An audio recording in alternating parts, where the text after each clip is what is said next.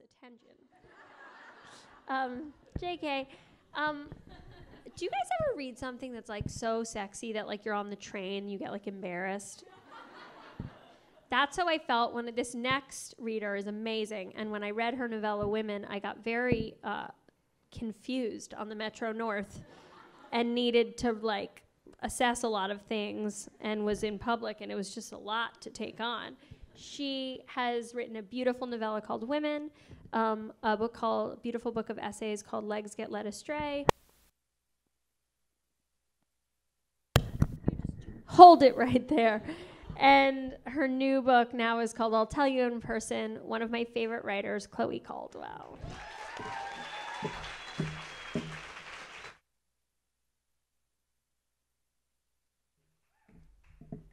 Hi, thank you. Thanks, Lena.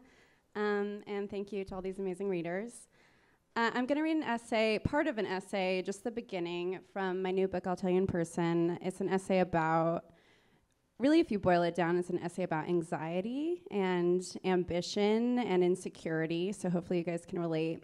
Um, with some candles and some cheese sprinkled throughout, and money, or lack of money. Okay, it's called Hungry Ghost. Just before Christmas, a couple of years ago, I made plans with a person whom I deeply admire. I won't say who, but I'll say this. She's somewhere on the spectrum between Eileen Myles and Beyonce. You probably admire her too, or you might hate her and think she's fat. Regardless, she is a celebrity with a capital C. I'd been infatuated with the celebrity and her art for seven years. She was going to come and sleep over at my apartment on a Saturday night. The plans had been in the making for two months, so for two months I'd been fantasizing about it and preparing for it, posing in the mirror for the photos we would naturally take together, practicing my smile. The photos would obviously get millions and trillions of likes. My exes would choke on their own spit when they saw. She and I would giggle and eat snacks out of bowls and lie on my newly purchased $50 futon, spilling our respective guts. Even then, I saw how ridiculous it all was. We had never met before. She was too famous to take the Amtrak. I'll take a car. The train can be a little dicey for me, she'd said. If she was in contact with me, think of the thousands of other people she was in contact with, whom she'd actually met in person. It was the holidays. Wouldn't she want to spend those days with her loved ones, her family, and her boyfriend, not with me, a stranger? But she was free in early December, so I rolled with it. But how did she know I wasn't a serial killer? A rapist, a sociopath? How did she know I wouldn't have an apartment full of fans just waiting to ask her for favors and take selfies with her? We felt like we knew one another already because of our familiarity with each other's work. This is how I make most of my friends. We've read each other's work, feel like we know each other, and we get drinks. I was used to this pattern, only now the person on the other end happened to be her. The celebrity was to arrive at noon on Friday. All I'd had to eat since Wednesday were clementines because my stomach was such a mess. I had stress diarrhea. I had an anxiety ball in my chest. At night, I dreamt only of her. I had nightmares. We were out to dinner and my debit card was declined. Not my credit card, my debit card. I woke early with an energy similar to mania. I took walks and cleaned my apartment, wiping down counters and tables, sweeping floors, driving to TJ Maxx and walking through the aisles like a zombie, unable to think clearly, buying candles and snacks and towels, considering buying new sheets, but also knowing how irrational this was. I caught myself whistling while sweeping. I love whistling. And I remembered my brother noticing this once and telling me that the more people whistle in their lives, the poorer they will be. Think about farmers, he'd said. I wanted to give my entire apartment a revamp, but I couldn't afford to. This was the same apartment I normally boasted about. It's the nicest and most spacious apartment I've had in the entire decade of my 20s. I become enthusiastic when people ask me about it, going so far as to say, it is the apartment of my dreams. I say that moving into this apartment was the best thing that's ever happened to me. But now I was second guessing, embarrassed about my regular apartment. One minute, I was certain she'd be super charmed by the place. It's old and quirky, good light, clawfoot bathtub. Maybe she'd want to film here. The next minute, I was horrified by the slanting old floors and mismatched bookshelves. I was mortified I still had a fucking futon. I always thought the first thing I'd do when I finally had money was buy a yellow couch. We'd been emailing since autumn. She'd read Women and publicly supported it. She promoted it on social media and in interviews she did. On the Amtrak the morning after my book release party, I was listening to music and staring out the window when I got a notification she was now following me on Twitter. I'd already been following her for years. She sent me a message telling me she loved my book and what could she do to help. She gave me her personal email address and said, Email me anytime. I began emailing her anytime. For every email she wrote, I wrote two or three back. I called my mom, who accused me of playing an April Fool's Day joke on her, even though it was early October. This was, I thought, many female writers' wet dream. She was like the Oprah of my generation. I was living my best life. Arrogantly and embarrassingly, I assumed my career was now going to take off in ways I'd never even had the balls to wish for or let myself imagine. At the beginning of our courtship, we emailed about once a week. We emailed about different vitamins and herbs we took to stay healthy oregano oil, probiotics, fish oil. We said we should talk more about vitamins, ideally over smoothies. We emailed about books we were reading, about musicians and comedians and writers. We need to meet, we said. We are so connected, we said. We decided that instead of meeting in New York City, she would come to where I live in Hudson. That way, she could get out of the city and enjoy a mini vacation, rejuvenate. Should she do a day trip or stay over? We wondered. I vote sleepover, she emailed.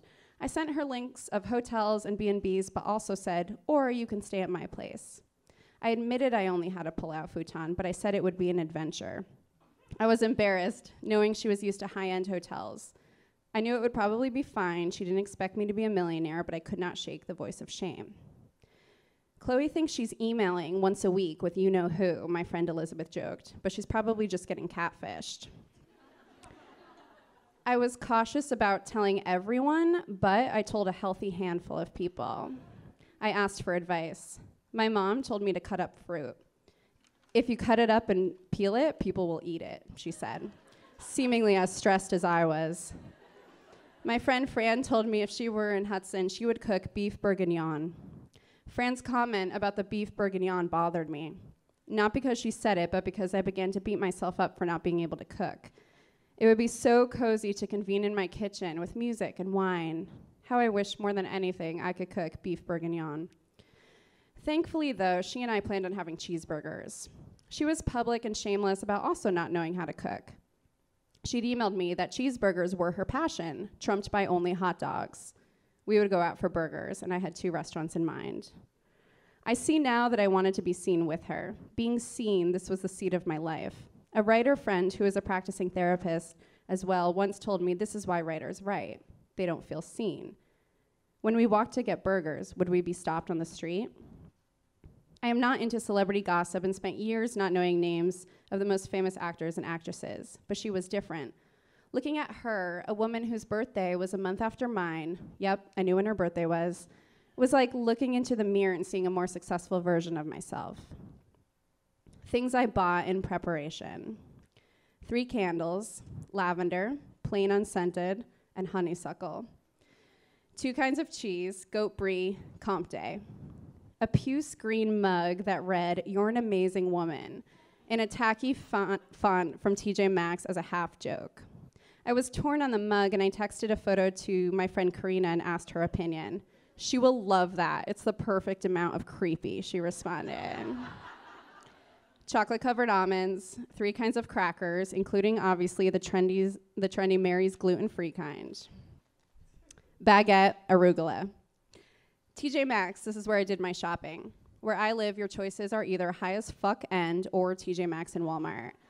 I went to TJ Maxx for the candles and the almonds and crackers, and a pretentious cheese shop in town for the cheese and salami. I thought if I mixed shabby and fancy, no one would notice. What the fuck is a salami roll? My friend Fran later texted me. I get that shit sliced, she said. I knew this celebrity didn't drink much, so I got something pink with a low alcohol content.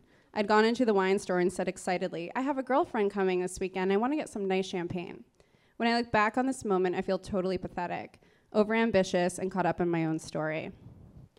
In Buddhism, the term hungry ghost refers to the person whose appetite exceeds their capacity for satisfaction. The visual of a hungry ghost is a Buddha ghost with a tiny mouth and an enormous stomach. They're greedy, starved for money, sex, drugs, power, status, all the good stuff, and more is never enough. Though I've done my fair share of self work, therapy, books, yoga teacher training, meditation, I have hungry ghost tendencies that I must keep in check. When I started what I thought would be this epic friendship with a celebrity, I really did want to be close and intimate with her, but my hungry ghost started haunting my dreams, surprising even me. I'm obsessed with money. I eat, sleep, and breathe it, I told my therapist. She chuckled. What? I asked. You said the same exact thing last week. well, it's gotten worse, I said. I'd recently noticed I talked about money and income differently than other people. I was constantly mentioning if I'd received a check I'd been waiting on or if I was still waiting for checks. I greeted people with, I got my check, or listed the checks I would be receiving in the following weeks.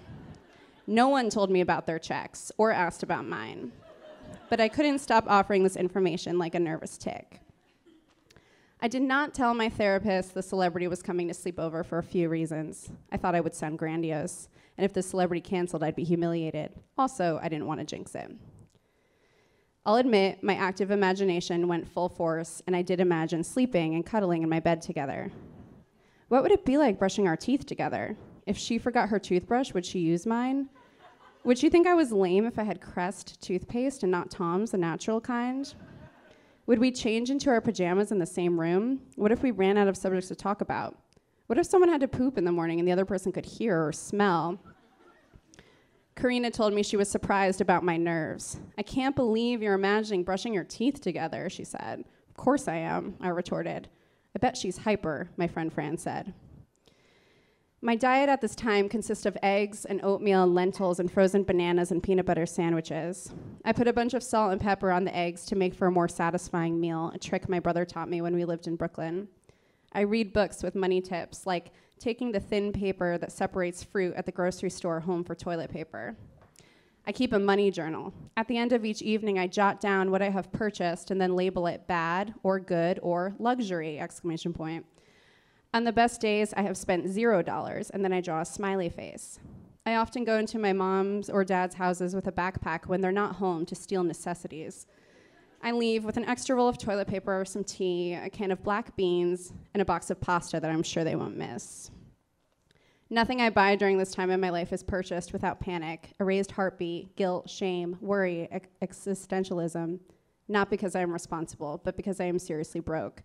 Not broke like I have a savings with $500 for emergencies. There is no savings, no car, no credit card, no real job, no backup plan, only rice and beans and cans of tuna. I was sweeping the floor. I was changing my sheets. I was wondering if I should buy new sheets, wondering if I should put a mint on her pillow. I was buying $3.99 candles at TJ Maxx on the verge of overdrafting my account. My friend Karina declared the sleepover meeting to be a moment in history. It's like Dylan and Hendrix meeting, she said. It's like Taylor Swift and Karlie Kloss. It's like Patti Smith and Eileen Myles. This was not a comfort to me at all. And I will stop right there. Thank you so much for listening.